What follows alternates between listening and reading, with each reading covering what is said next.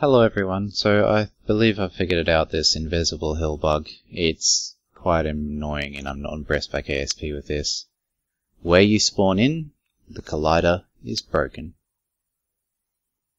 Okay, see how it's hitting Kerbin at 134 meters? That's my vessel altitude. The point, the blue point, is right inside my cockpit.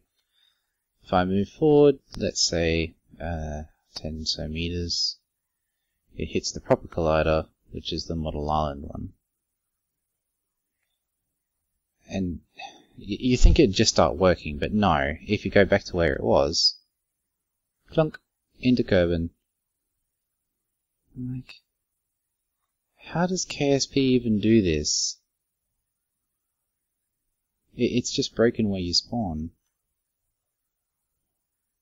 Oh well.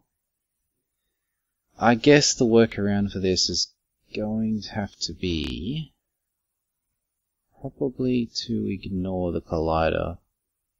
So that means I have to detect where I spawn in. Ah, oh, that is that is lame. Really lame. Alright. Um yeah, so catch you later everyone.